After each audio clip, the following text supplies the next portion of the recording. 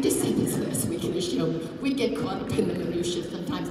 Yes, we actually, as an organization, and I just sent the minutes back to Pittsburgh to show them that yes, three years ago we voted. And what we do is every year we have our internationals. We also have our national meeting. And and I've said this before. I mean, many of you have heard me. I always tell Apple you see something that you like in a show or you see something that you don't like, office know because what happens is all those emails, and again, it's not every, every single email gets looked at, but when there's a common thread about something, then we take it back to nationals and as an organization, we talk about it and we vote on it. And that was one of the things we voted on. All athletes can wear their numbers on either side. Now they're talking about make, you know, going back to just bikini camp because that's really where the issue is. I don't know if it matters as long as I can see your number. I really don't care what side it's on.